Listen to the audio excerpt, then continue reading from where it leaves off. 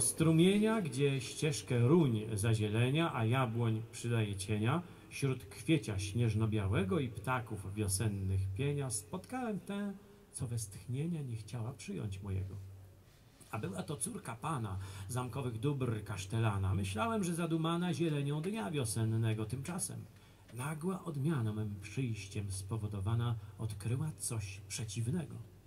Łzy z oczu jej się rzuciły, a usta łkając mówiły O Chryste, królu mój miły, Tyś źródłem bólu mojego, bo Twe cierpienia sprawiły, że na Twą służbę ruszyły młodzieńce świata całego. Jest z nimi mój ukochany, nadobny, umiłowany, tęskność i żal niesłychany trapią me serce przez niego. Ludwiku, królu, Twe plany serdeczne czynią mi rany.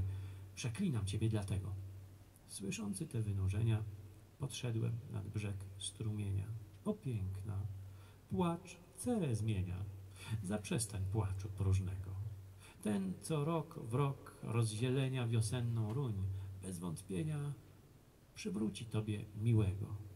Wiem o tym dobrze, mój Panie, i liczę na zmiłowanie, gdy przyszłe życie nastanie za sprawą Boga naszego. Lecz gdy mi zabrał kochanie, nic cieszyć mnie nie jest w stanie, bom oddalona od Niego.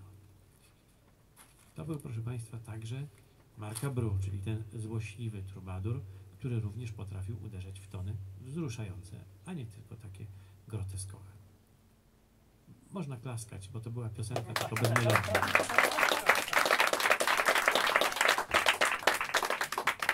Nie zdecydowałem się na